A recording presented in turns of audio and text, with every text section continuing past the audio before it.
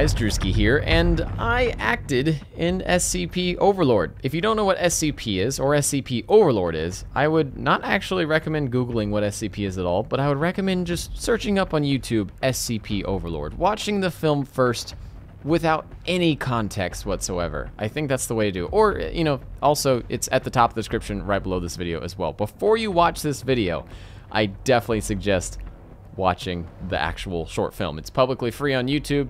Check it out. Again, link in the description and also search bars right above this video probably. So SCP Overlord is a film about some operators raiding a compound or raiding a, a sort of uh, cult facility uh, in the middle of a forest in the backwoods of America in a universe kind of parallel to ours, which contains SCPs. SCPs, um, if you ever looked it up, it's like a big creepy pasta sort of website that has tons of different types of entities and anomalies that do different things. There's anything from scary monsters to hats that make you invisible, anything that is anomalous and breaks the laws of physics and things like that are considered SCPs. There's a foundation called the SCP Foundation, the Secure, Contain, and Protect Foundation, that is built up to basically find and secure and protect these SCPs um, and, and, keep them from damaging the public. Well, unfortunately, there's a cult that has some activity going on that seems anomalous, and so the SCP Foundation is called in with some Spec Ops guys to go raid this compound. So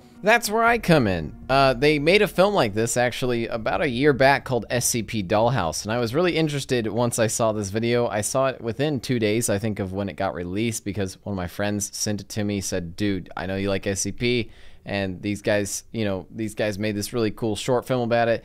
I saw the film, I immediately was just in love with the design. You guys know that I love night vision goggles, I love SWAT teams and tactical gear and all that sort of stuff. So I geeked out over this video. I thought it was super cool, um, bridging the gap between something like uh, Zero Dark Thirty and something like uh, I don't know Ghostbusters or uh, Men in Black. I just love that sort of gray area there that hasn't really been explored before. So I hit up Evan Muir, the writer of SCP Dollhouse, and I said, "Hey, could you know I I I want to somehow help in the next one. I think this is really cool in any way. I just want to you know see if you need any extra helping hands on this."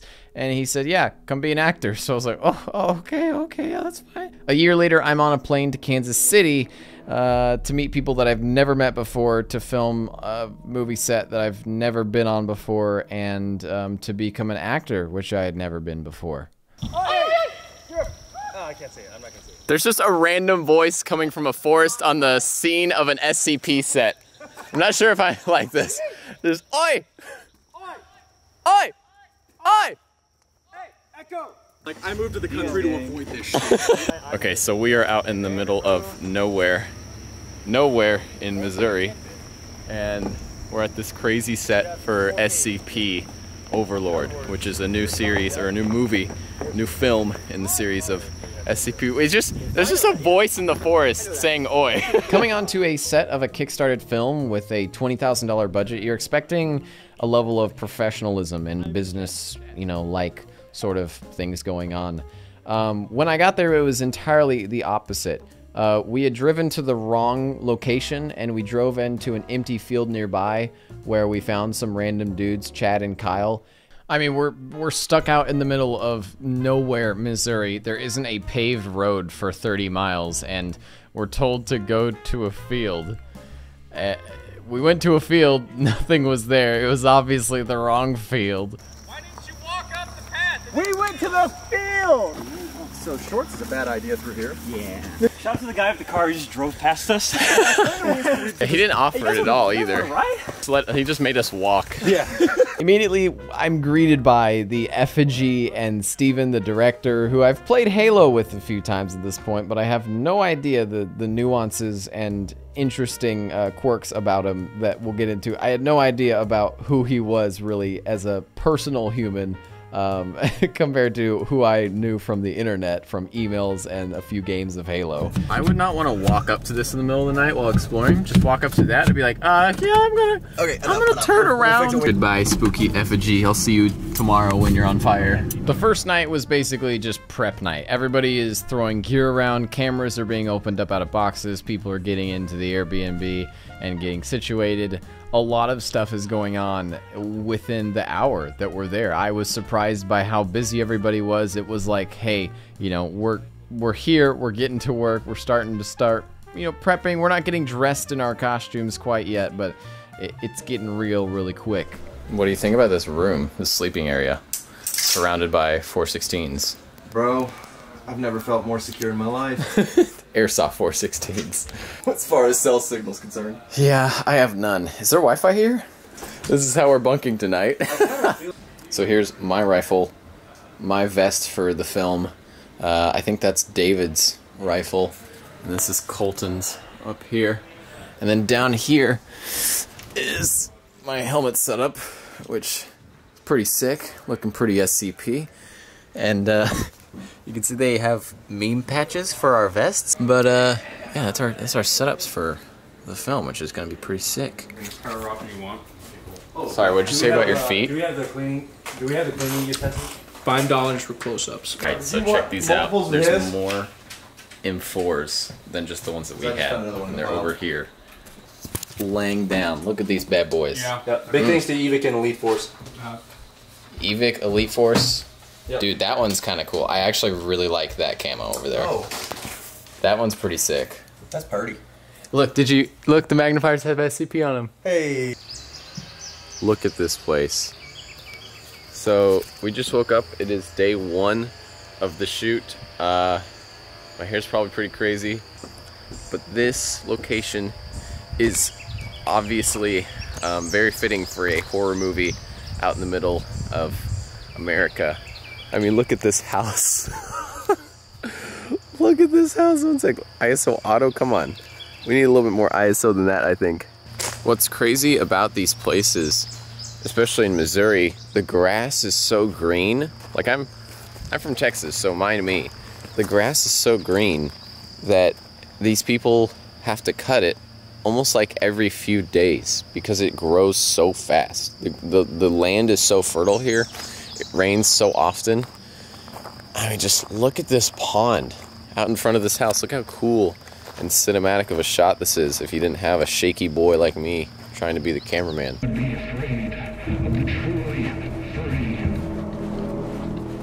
I mean, look at the view of this farmhouse. this is so cool.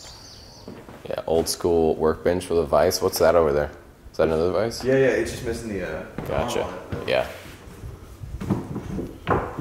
That is crazy that this is made out of wood.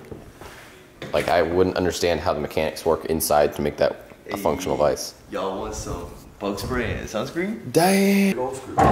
I feel like I'm in Texas when I see a sign like this. I feel like I'm with my people. With your people? Yeah, that's fantastic. Look at them fours they have set up. Okay, so last night we had a kind of darker view of these, but I'll give you guys a better view right now. So here's here's Uno in four. This is one of my favorites actually. Doesn't have a foregrip though. Get a Magpul AFG on there, boy. Here's another. So these are all gonna have suppressors and sights on them once they're done. I really like that kind of like A10 warthog sort of teeth look. And this is a pretty nice one. I really like this one a lot. This is like what I would want in an airsoft gun, honestly, this sort of setup. Maybe not the stock. I don't know what stock that is. I would rather have the 416 stock. But then they've got like the bronze 416s all weathered out and stuff. Mine isn't as weathered as this though. Mine's over here, as well as my gear, as you can see. So mine has the bronze and then it's got a Vortex uh, Huey on it. Or Razor? I guess it's a Razor. Never mind, I thought it was a Huey. And then uh, got the nice 416 rail with a little suppressor at the end and a Holosun actual PEQ box. Not really a real PEQ box, but close enough, you know, close enough. I'm, I'm the skinniest guy here, and I'm so, so hungry. Oh, there's just grapes and Joe Bonnie. No. Oh, there's tortillas. There's tortillas, though.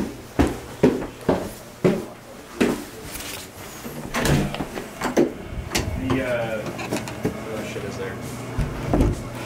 Uh, we're working with one bathroom kind of right now because the one on the second floor is blocked off with plastic to make sure that we have the movements and everything correct so we get the shot right. We can only do it once. Yeah. So no fucking about or whatever. Watch your footing.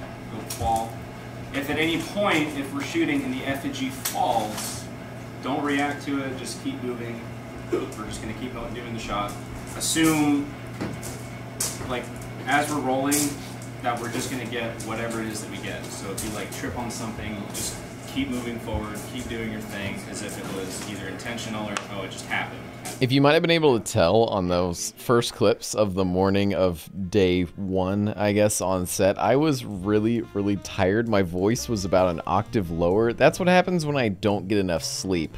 Uh, luckily, a lot of the first shots of the film were actually uh, really not including us that much. It was the briefing scene where uh, Katie is giving us the briefing, and then uh, the MTF officer comes up and gives us another kind of partial briefing. Um, and a lot of that was just shots of Katie doing her part, and the shots of the monitor, and the shots of projector, and the other actors. So uh, there was this was all filmed in the basement of the house. So it looks like it was filmed in some SCP facility, but it wasn't. It was actually in the basement of the house where the operation took place in, which I thought was pretty cool. It's a weird little Easter egg. So the scene where Basan shoots himself is the same exact scene and also camera angle that we have whenever we're facing uh, the, the, the, the, I guess the projector display in the basement, which is pretty funny. But they've got this whole foggy setup behind us, and I'm gonna show you guys what they're doing up here. This is the first shot we're about to do in like literally five minutes. Throughout this filming, I was uh, laying back on a four wheeler that was parked in the kind of under basement garage area, and I actually got really, really comfy and fell asleep for like an hour and a half while they were doing shots. And I cannot describe how comfy a four wheeler can be when you didn't get much sleep the night before, and there's just a like a, a silent commotion in the room because or a, a kind of a, a dull commotion because everybody is working really hard trying to get the shots right. There's there's a lot of talking but it never gets really too loud you know. The actress is saying her parts and her lines and the director is kind of um, telling her okay you know you're going to do the same lines you're going to do it this way that way this way. It was really monotonous almost in a way and very peaceful so I fell asleep. I woke up feeling better than ever. I, I think it was honestly one of the best naps I've ever had in my entire life. And I was ready to take on the day. As you can see, the fog machine kind of got out of control, and uh, there's a little bit too much fog, so they're having to open a door over there just to get the fog out. I am currently laying on top of a four wheeler, so that's a that's a four wheeler throttle. I'm currently just laying here. I actually took a nap while they're doing shots. Jansen gloves, action.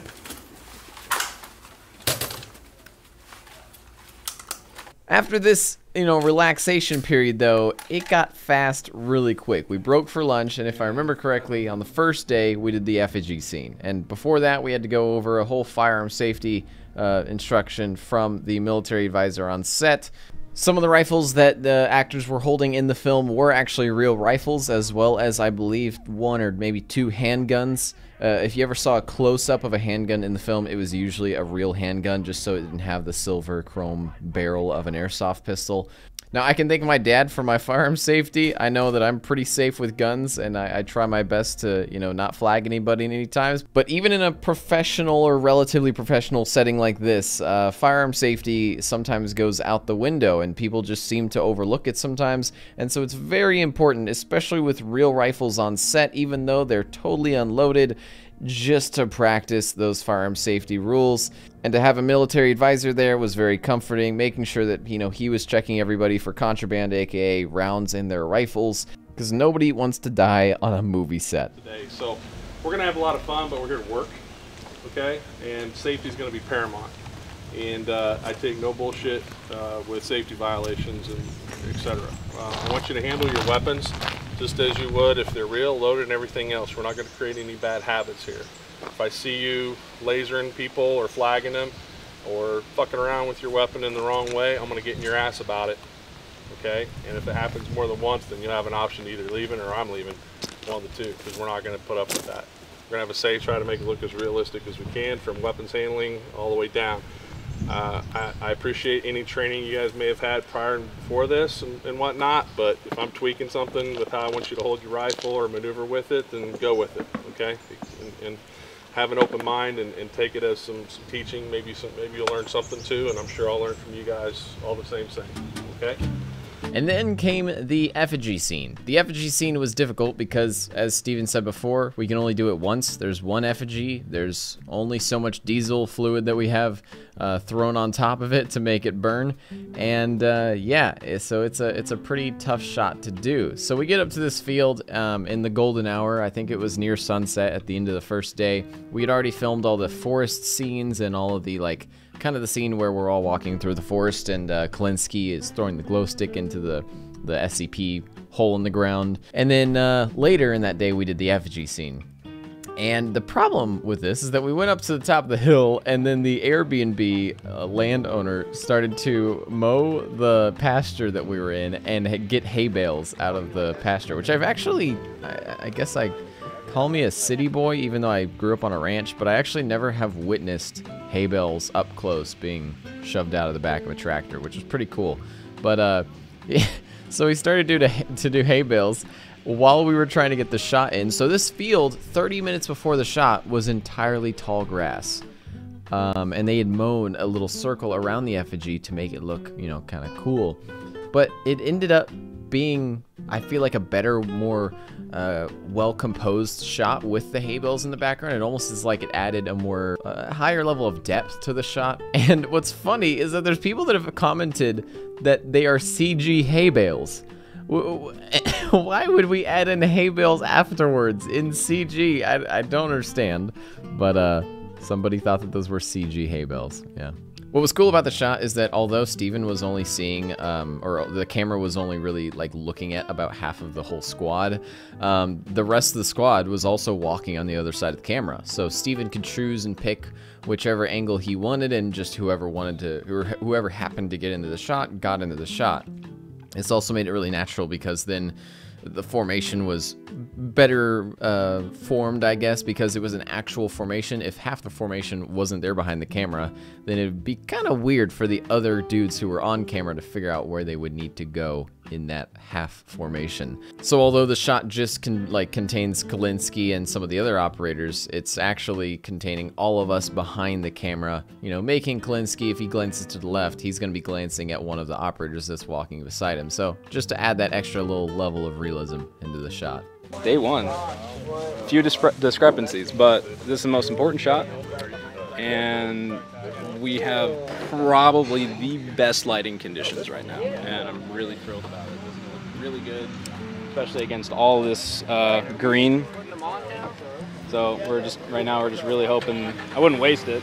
Just making sure it works. Uh, yeah. Keep your gear on. So I can move the truck. Or, alright, got it. I'll wait for them. Oh yeah.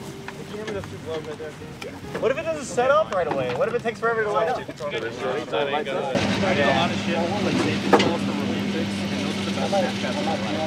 I would just take a picture of the safe and there's just a picture of the safe. Five, four, three, two, one. We're good.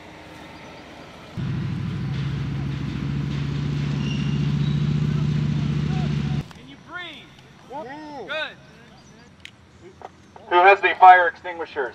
Kyle, you tell me when you're ready. Ready? I'll cue you. Camera speeds. Everyone get ready. Hold on. All right. We're good. Do it. Light it up.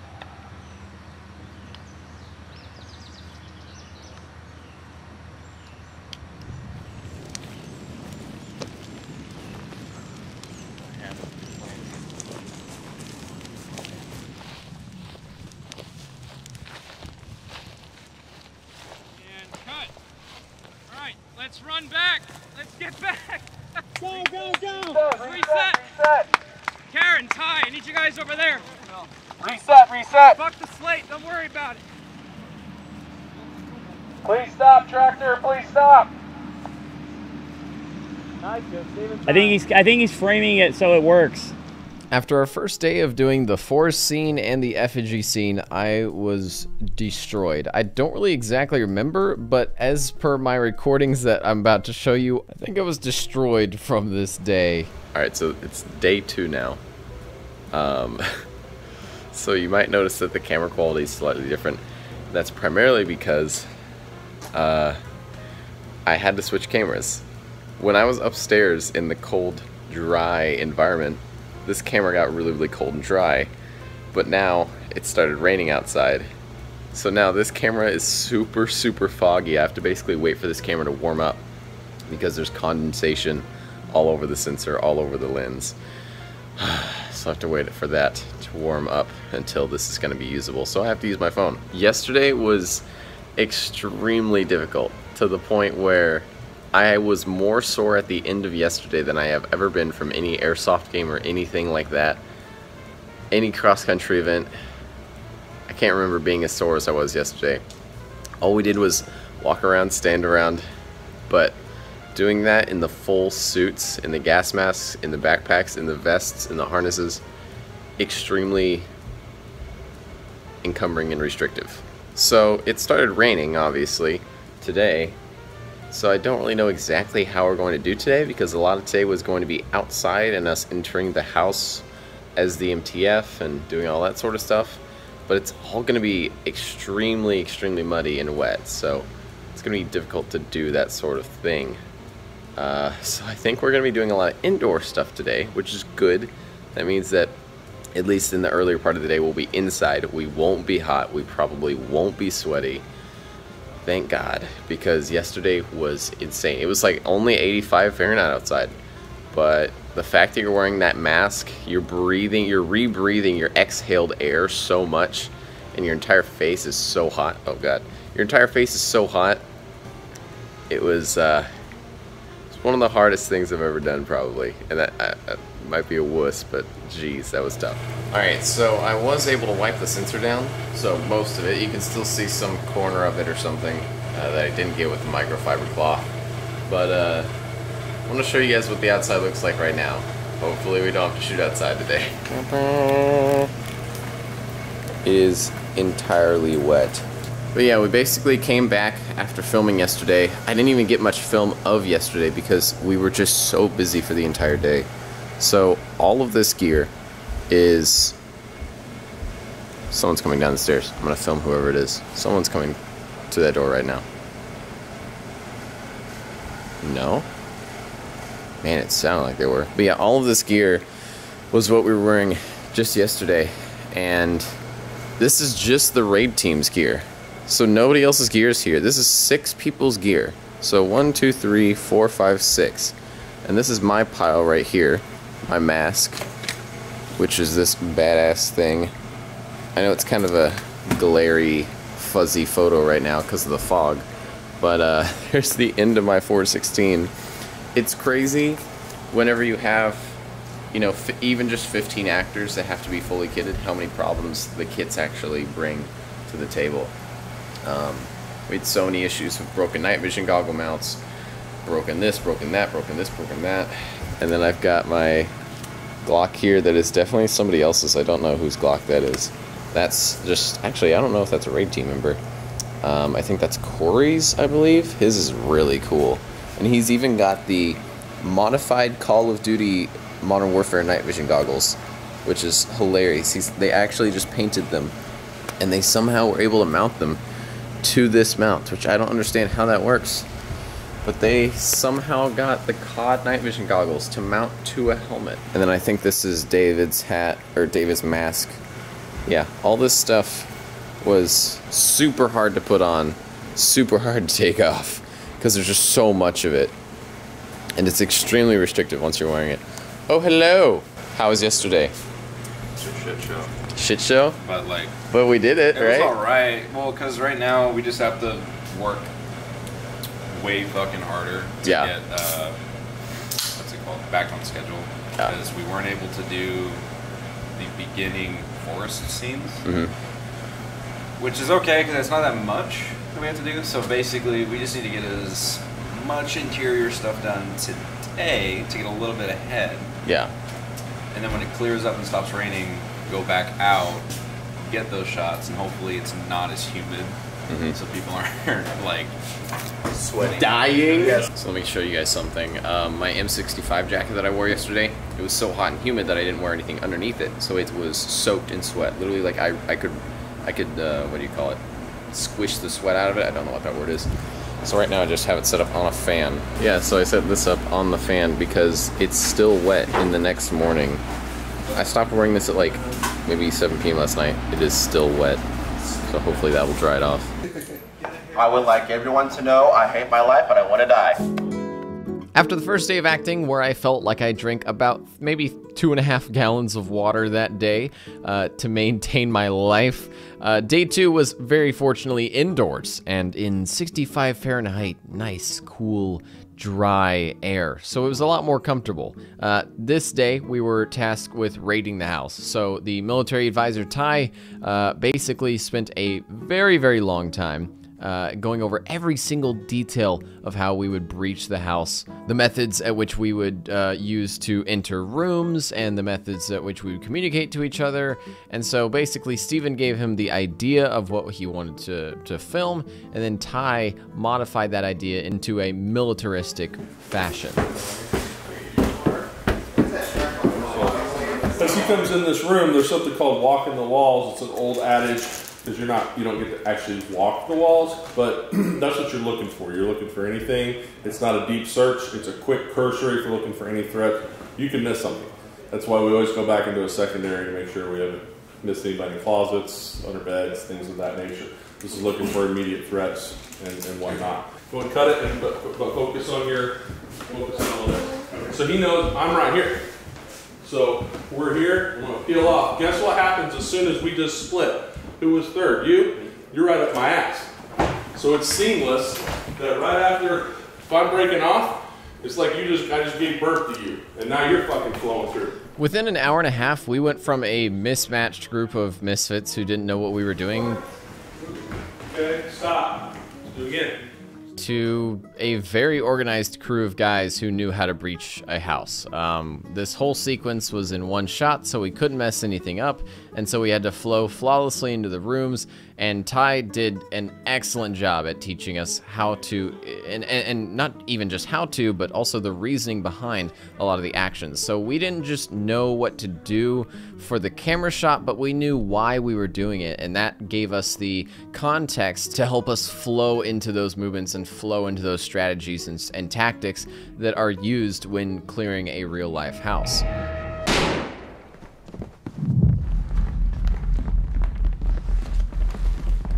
Holding. Small room. Small room left. Coming out. Clear. With you. Clear. Coming out. Coming out. Clear. Clear. Talk move to second deck. Alrighty, so this is day three, I think. Maybe day four. I don't even remember because we've been doing so many things.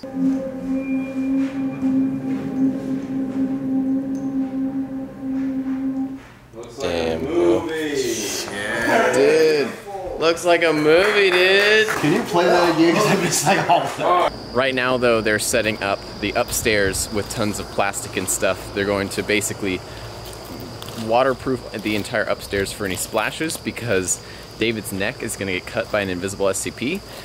And I'm going to have to grab him with him bleeding out, basically, and him falling to the ground dead.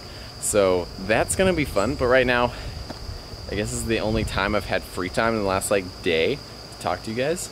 So yeah, I'm gonna go back inside and shoot what they're doing upstairs because they're gonna be plastering it all up. They're gonna be prepping David with his makeup and stuff because they're gonna have to hide a blood tube in his neck, and then uh, we're gonna slice his neck open. Totally normal vlog. Hey David. They started having like. Ready to get your neck cut? Yeah, I'm ready. To die. Get as far back as you can go, Chad. Tell me when. As far as you can go. I want to be able to pee in this hallway. Damn straight. Yeah, and not, and not for the guy, you know.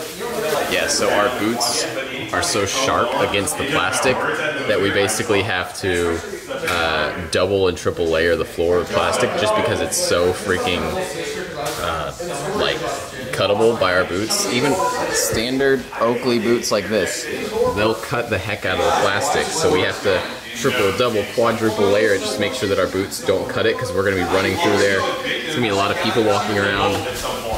Oh, hello.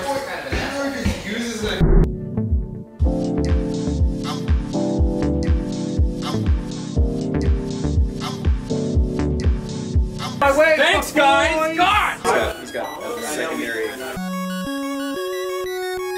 Can't believe we have Drewski on set. Some fucking. He's got one of those retards that just shoots airsoft videos. I didn't know. Those jackasses We're at think they're, that they're so talented, and it's like, no, you don't know how to light, you don't know how to composition a camera. You don't see yourself, right? Here's your. Okay. I'm not shitting you. We're so lucky we got this scrub with almost, actually not even 900,000 subs to give not us free even a- views. What not an idiot! What a Not a stupid idiot! subs. What a not even a million what a bitch ass. And then he would do this. And, I, and it was like his little thing. I was like, what the fuck is, and he goes, it's, it's to get my hips going. I played so much Stardew Valley, it's ridiculous.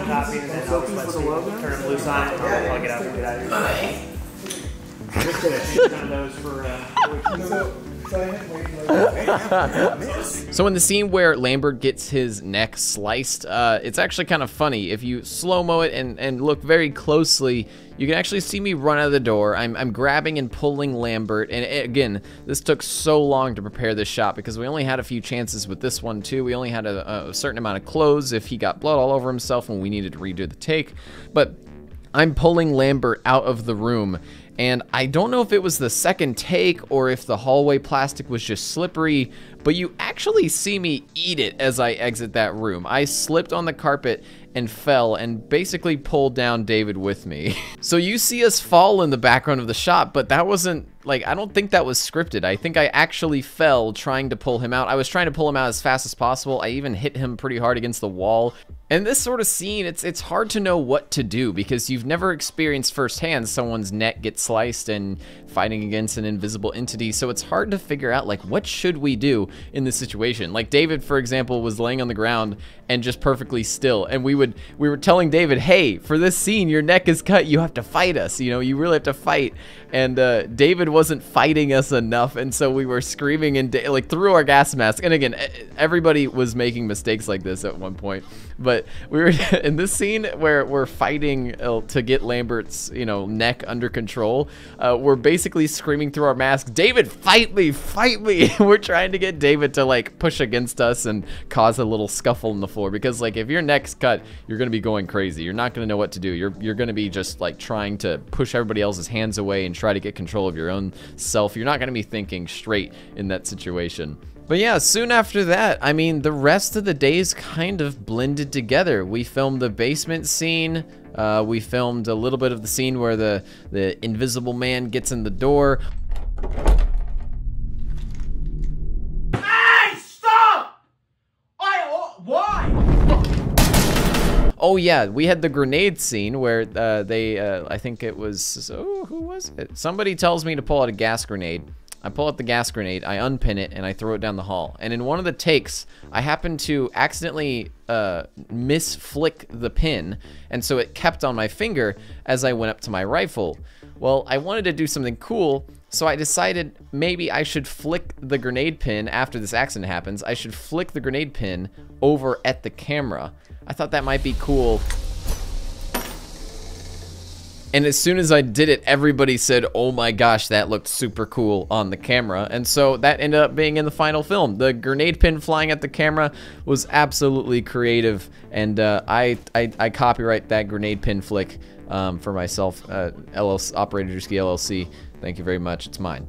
And after that, honestly, the production flew very fluidly. I guess that's the best way to describe it. Uh, it was it was a fast run to the end of the film. We finally got done with our with our parts. We were able to sit around and watch some of the uh, outdoor team uh, come inside and actually recreate our scenes for the foley or the the background audio that was used in the final film. They had to recreate the scenes and get the audio of footsteps and plastic sounds and all that. So that was something that was. It was fun to watch. Just sit back, relax, and watch other guys act and do all their stuff. And that was it. That was the entire filming of SCP Overlord. It was a lot faster than I thought. It was a lot, uh, I, I, I guess, both in the amount of speed at which we were doing things, but also in the speed of what five days can last. I mean, when you're getting up, working, going to sleep, getting up, working, going to sleep every single day for five days straight, it goes by pretty quick. It, it, feels like a blast, and you kind of forget which day you're on at some points. And remember at the start of this video when I said that the entire film set was unprofessional and, you know, unbusinessman-like and all that sort of stuff. I say that because I've, I've been to places where it was boring, where it was businessman-like and nobody was having fun and, you know, I've been to video game uh, conventions and video game releases that are just boring, businessman-like and, and, and polite and, and not exciting and nothing fun is going on really. You're just trying to act your best and and uh, I don't know how else to describe it other than just like be fake. Um, everybody here was very real. Everybody here was very skilled. Everybody here was very passionate, and it was a mismatched crew of very effective movie makers. Is the best way to describe it. I think that Stephen Hancock and Evan Muir have a bright future ahead of them. And if you or anybody watching this is into um, filmmaking or investing in filmmakers, I definitely would suggest these guys. I mean, from my experience of being on their set, I wouldn't be giving them praise. I wouldn't be making this video unless I really liked my time on there. And I think that these guys deserve a little bit more exposure because this film was amazing. It was so much fun to work on. I would go back. I mean, I mean, nobody here on set was working for money. We were all working for free. It was something that I just wanted to do because it looked cool. And once I got there, I had fun and I would 100% do it again for zero cash. It was hard work. It was exhausting, but I would go back in an instant to do it all over again. Again, big thanks to Evan and Steven for letting me invade your movie set without even knowing who I am. I hope uh, I hope the viewers really enjoyed this one too because it was a lot of hard work and uh, yeah, I, I, I, hope to uh, be in future movies. Maybe not be an actor, but maybe at least help out in the future films that these guys have to do. Um, and yeah, it was it was a pleasure, boys. So this has been Operator Drewski, and I will see you in the next one.